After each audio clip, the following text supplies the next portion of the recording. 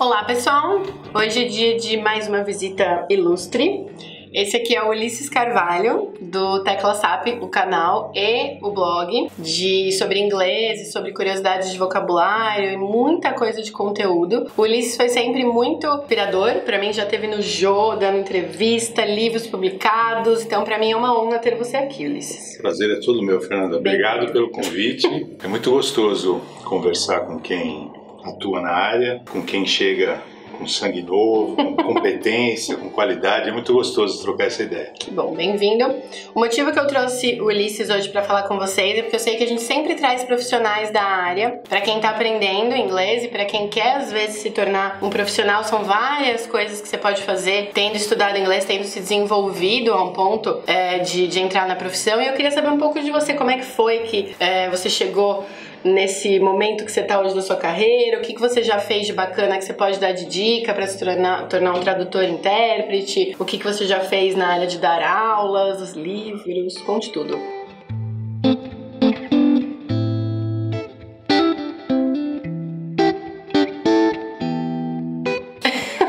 Vai demorar. Eu tô brincando. Não, eu sou intérprete de conferência já há 23, 24 anos. Nossa, bastante tempo. É, comecei na área meio por acaso, estava participando de uma reunião, precisaram traduzir na reunião, comecei a traduzir. Eu já dava aula de inglês, né? Uhum. Em escolas, assim, em empresas. E aí eu gostei da brincadeira, fui me formar, fiz o curso de formação de tradutores e intérpretes da Associação Alumni, Uhum. aqui em São Paulo. Que é um, acho que é um dos maiores nomes mesmo, né? É, um curso de área. dois anos, é um curso profissionalizante. Existem cursos também universitários, né, cursos de graduação, Uhum. mas eu fiz o curso da Alumni de dois anos e daí pra frente comecei a trabalhar como intérprete e não parei mais. E você sentiu, assim, a diferença? Porque eu imagino, sendo professora, que na hora que você tem realmente que colocar isso na, no simultâneo, né? Na hora de você pegar o que uma pessoa tá falando e levar pra outra, seja uma, uma grande diferença do conhecimento mesmo, adaptação do que você tá interpretando e tudo, como é que E é? o processo é outro, né, Fernanda? Quando você dá aula de inglês, eu dava aula de inglês das 7 da manhã às 10 da noite e só Claro. falava inglês. É, Então, às vezes, eu usava algumas expressões e eu não conhecia o equivalente em português. Porque você usa inglês, tá falando? Não. Mas quando entra para fazer tradução simultânea em cabine, não tem essas coisas de, ah, take for granted, que não sei o que. Não, velho, se vira para traduzir take for É. granted. Não tem. tem coisa que às vezes não tem, não tem em português que tem que ter em português. Tem que adaptar. É. E Tudo por- tem tradução. E professora, a gente tem essa mania né, de falar assim: ah, uh, teacher, como é que é isso? Ah, isso não tem em português. Mas tem que ter, não é mesmo? Não pode. É lógico, porque o teu essa. público, se é um público, por exemplo, de analistas de mercado, do mercado financeiro, você usa uma expressão em inglês, o cara sabe. É. Mas não é toda hora que é assim. Uhum. né? Então você precisa é, aprender a trabalhar com as informações, a processar as informações de um jeito diferente. E você faz tradução hoje também no papel mesmo, tipo, só, só intérprete. Você vê uma diferença? Algum dia você quis fazer a parte de tradução de. Não, eu fiz muita tradução escrita, mas não é a minha praia. Você eu me não- sinto realizado na cabine. É Jura? adrenalina, é outro. além de ser um trabalho diferente, a, a formação é, é idêntica durante boa parte do curso. Uhum. É, nesse curso você é preparado para os dois. É. Isso é bacana de. É, e na graduação também, né? Os cursos universitários também Preparam são assim, pros dois. preparam para os dois. E depois no final tem uma, uma divisão, aí cada curso de um jeito diferente, mas enfim, você passa a, a trabalhar. São atividades, claro, correlatas, mas bem diferentes. É, imagina, pra mim parece totalmente diferente. É, não tem backspace, não tem Google, não, Não tem.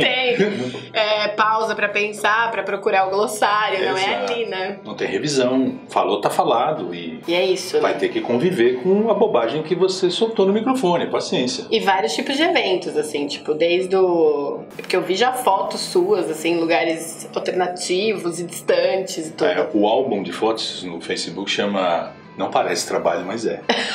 que vezes bom, você tá no né? meio da lavoura, de, né, no milharal, às vezes você tá numa refinaria. Seguindo os caras que precisam Ou, conversar. ou no hotel assim de luxo que você fala, meu Deus. Não viria aqui. É, Eu vi até uma foto sua na muralha da China, assim, Aí. você esteve na China por causa disso. por causa do trabalho, claro.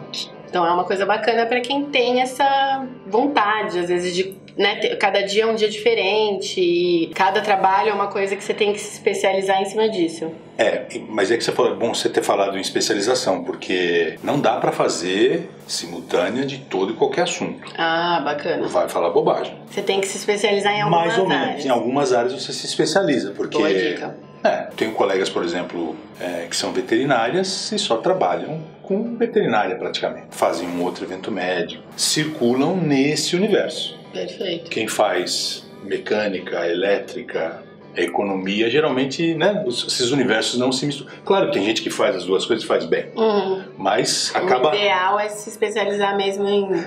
Depende muito do perfil de cada um. Eu tenho um colega, por exemplo, que é médico, só faz evento de medicina, porque tem muito, né? E, se especializa, faz bem, vai ser sempre chamado para eventos daquela, daquele, Bacana. daquele assunto. E tem gente que é mais generalista. Não tem nem certo nem errado, evidente. Mas mesmo assim, mesmo os generalistas acabam se especializando em, sei lá, 8, 10 áreas, assim. Não, querer- não dá para abraçar o mundo. Não dá, não dá. Porque não- às vezes o grau de, de, de- de profundidade de uma reunião exige que você tenha um vocabulário muito específico de uma área. Não dá para você aprofundar, se aprofundar tanto tudo. em tudo, não tem jeito. Perfeito. Então a dica é fazer o curso, passar por isso, por esse preparo, estudar muito e se aprofundar. Você acha que tem algum tipo de perfil, se você fosse recomendar para alguém que está buscando aí uma, uma área para atuar, uma coisa que gosta de inglês, você acha que tem um perfil de ser mais, talvez, sociável? O que, que você descreveria de um. Para ser intérprete? É, Ah, tudo isso e mais um pouco. e muito. É muito ralo, não Muito tem, não tem milagre. É. Né? Porque você vai ter ali que em dois ou três segundos encontrar uma solução. Nem sempre você traduz, que é uma coisa importante dizer, né? Nem sempre você está traduzindo um nativo. Exatamente. Aquele lord inglês, inglês ou impecável. um professor de economia americano. Se liga, às vezes é uma pessoa que está falando inglês como idioma estrangeiro também. Perfeito. Com sotaque X. X, porque É. ele é bom em tratamento de água, ou especialista em construção de barragens. Não necessariamente em falar inglês. Não é, professor de inglês. Tem tudo isso. Entendeu? Então você às vezes se depara com coisas que precisa ter mesmo muito jogo de cintura, conhecer do assunto, porque quando você conhece do assunto, fica mais fácil de você deduzir aquele buraco que ficou na comunicação Uhum. e preencher ali, tapar, Pra sabe? conseguir fazer a comunicação fluir, né? É, então por isso que tem que ter mesmo um domínio absoluto dos dois idiomas Uhum. do trabalho, conhecimentos gerais, conhecimentos específicos Perfeito. e tem que gostar de adrenalina. Exato, ó, já tem uma lista, um checklist aí pra quem tá ouvindo. É. Perfeito. E claro, fazer curso, se preparar, Sim. né? porque no curso Uma- um alto nível de especialização mesmo, né? Exato. Do inglês, não é só Exato. saber o inglês. Beleza, ficou a dica então. Muito obrigada, Alice. Vou pedir pro pessoal deixar comentários se tiver dúvidas. Você me ajuda com as dúvidas do pessoal. Com prazer. Vou deixar também as informações do Ulisses, o canal, o blog, contato, o que ele quiser. Vale a pena entrar em contato com ele, um super mestre do ELT aqui. Thank you. E a gente agradece a sua presença. Muito obrigada. Eu que agradeço o convite, foi um barato. Ótimo. Espero que você tenha gostado. And bye. Tchau.